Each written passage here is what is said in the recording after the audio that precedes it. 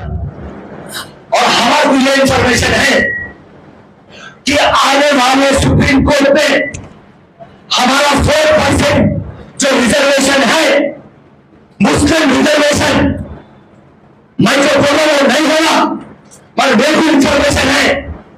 ये साइकिल हो जाने वाला है, चार परसेंट भी निकल जाने वाला है। इसको जो निकल जाने वाला है अगर ऐसा होता? तो हम आग लगा दे सकते।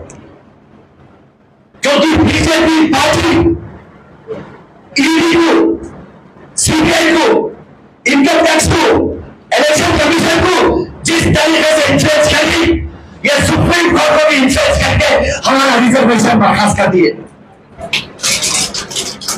ये आने वाले हैं। और रही बात अगर सिर्फ़ मुसलमान का दिल जीतना है, हम दूसरे कोई भी कम्युनिटी से हमारा कोई लेना देना नहीं है। आज जैसा दलित बंधु, दस लाख रुपए दे रहे इमरान जी। हमारे स्टेट में, हमारे मुख्यमंत्री साहब, दलित बंधु दे रहे दस लाख। मुसलमानों को एक लाख भी लोन देते हैं तो बैंक को लिंक कर देते हैं और यहाँ पे दस लाख रुपए दे देते खाली मुफ़्त में। हम ये चाहते अगर से तेलंगाना का पूरा मुसलमान कांग्रेस की तरफ़ बढ़ जाना, जिस तरीके से साठ लाख दलितों को आप दस लाख दे रहे आप दस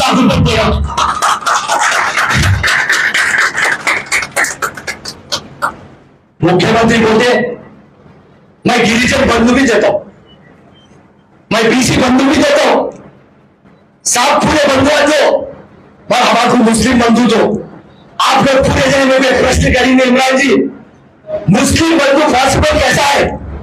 तेलंगाना सरप्लस स्टेट है आज डेफिसिट पे है लाख करोड़ उधार में है। कालेश्वरम मिशन भगीरथा, ये पूरे स्कीम अब खत्म हो गए। तेलंगाना के पास पैसा रहता। कांग्रेस पार्टी पावर में आई तो मुस्लिम बंधु हम देने के पोजीशन पे रह सकते। तो मुस्लिम बंधु जो पॉइंट है, ये पॉइंट आखिरी पॉइंट है। अगर से ये बात आप डाल देंगे, जिस तरीके से अमित शाह जाके कर्नाटका में चार परसेंट रिजर्वेशन निकाल देता और प्रधानमंत्री वहाँ पे जाके डेवलपमेंट बोलना छोड़ के जय बजरंग बली बोले। इसी तरीके से मुस्लिम बंधु आगे से हम मैनिफेस्टो में डाल देंगे इमरान जी। मैं मेरे खून से लिख देता हूँ। और खैबार भी नाम पल्ली में जीत के लाके आपको गिफ्ट चले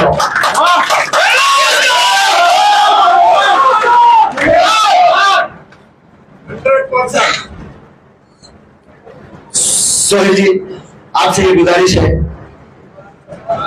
तेलंगाना का टूर प्लान करिए हर डिस्ट्रिक्ट में एक वर्कशॉप डालिए। पहली बात अपने कार्यकर्ता को मालूम होना एक्चुअली देखिए सिंपल लॉजिक है। जब आप अवाम के पास जाते तो अवाम ये पूछती, कांग्रेस पार्टी करी क्या? तो आपको मालूम है ना, आज केसीआर पार्टी करी क्या? आपको मालूम है ना?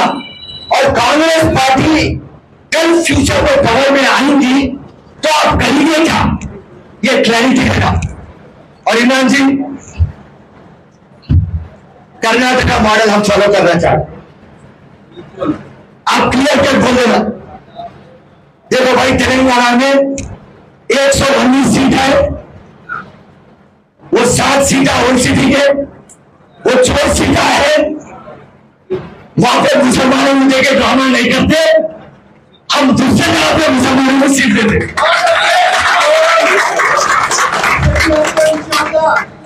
ये क्लैरिटी देता फिर आप क्लियर कर बोल दो। भाई गवर्नमेंट पावर में आई जब हम जो काम करने वाले मुसलमान हैं, आज मैं नाम लेना नहीं चाहता। मगर आज जो भी कांग्रेस पार्टी से मुसलमानों के नाम के ऊपर पोस्टर न्यूज़ वाले है। मैं पूरे में एक बात बोलना चाह रहा हूँ।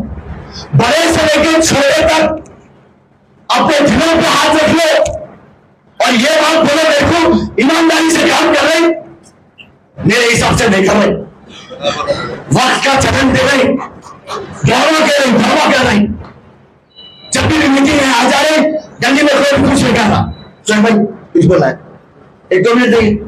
मिनट सब लोग लड़ना है। सुनिए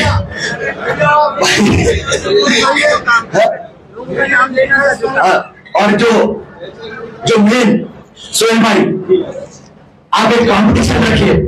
पूरे थर्टी थ्री डिस्ट्रिक्टों में जो सबसे ज़्यादा काम करेगा सबसे ज़्यादा ईमानदारी से तन मन धन से आगे बढ़ेगा। हम उसका नाम फॉरवर्ड करेंगे। इतने महीने हमारे मिलने वाले हैं। इतने महीने से मिलने वाले हैं। इतने चेयरमैन मिलने वाले हैं। इतने डायरेक्टर से मिलने वाले हैं। तो ये तमाम चीज़ें आप अगर से क्लैरिटी दे देंगे तो फिर से हम एक काम करेंगे। इमरान जी, आप अगर से ये गारंटी दे देंगे तो मैं आप लोगों की तरफ़ से कुछ बोलना चाहो। अगर से आप इमरान जी हम आपको क्लैरिटी दे देंगे, हम इंशाला यहाँ से निकल के मक्का मस्जिद जाएँगे और बोलेंगे कि इमरान जी, जो बोले हम उसको फॉलो करते।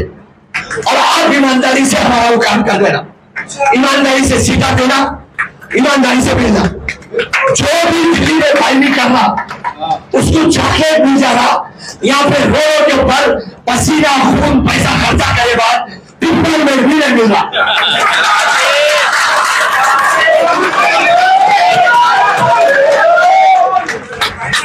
अरे भाई, आज मीटिंग थी, ज़बरदस्ती हंगामा थी। वह यहाँ इमरान जी है वाह, बेहतरीन, हमारे इमरान जी सुपर है। बेहतरीन। सोहेल भाई सुपर है यस आज भी सबको मैंने जानता, मगर उन्होंने भी जब इमरान साहब के साथ है तो उन्होंने भी सुपर है। फिर ये सुपर टीम था मुसलमान मुसलमान परेशान है। और मुसलमानों की कोई मदद नहीं कर रहे इमरान जी। और हकीकत और इतिहास ये है कि अगर से मुसलमान को मदद कराता वो कांग्रेस पार्टी से। बात करेगी अमित शाह बोला, मुस्लिम अपीसमेंट करते मुसलमानों का नाम लेके अपीसमेंट करते। बराबर करते क्योंकि मुसलमान कभी भी कांग्रेस के साथ था। तो आज की जो मीटिंग हमारे सोहेल साहब बुलाए हैं और पूरे डिस्ट्रिक्ट या थर्टी थ्री डिस्ट्रिक्ट सरगर्म, कारकुन, और जो हमारा सिपह साला है। इमरान भाई की बात तो होता वाला भूल दिए हंगामा है। उन्होंने जब भी भी माइक हाथ में लेते तो किसको बुलाने की ज़रूरत नहीं है। कोई बलवा करने की ज़रूरत नहीं है।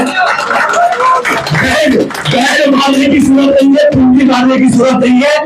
दूल्हा आ जाता। इमरान भाई आ जाते दूल्हा बन के और पापा बन के आ जाते राहुल गांधी को जैसा बोले थे, तू पापू पापू है। राहुल गांधी जैसा पापा है ना माइनॉरिटी के पापा हमारे इमरान भाई